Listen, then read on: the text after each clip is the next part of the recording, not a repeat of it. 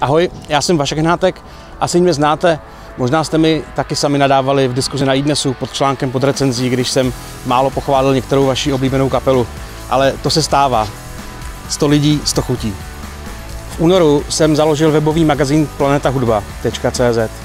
Naše čtenáře bereme do zákulisí velkých koncertů, ale navštívili jsme třeba i streamované akce, kam se nikdo z veřejnosti nemohl dostat. Navštívili jsme Kulturák, kde Marek Stracený zkoušel na svoji letošní vyprodanou Ultu Arenu. Přinášíme taky rozhovory, ale nejenom s hudebníky, ale i s lidmi, pro které muzika je prostě jenom velká vášeň. Zvládneme toho mnohem víc, ale k tomu budeme potřebovat vaši pomoc. Články na Planetě hudba budou vždy zdarma. K úspěšnému růstu však musíme získat nějaké peníze.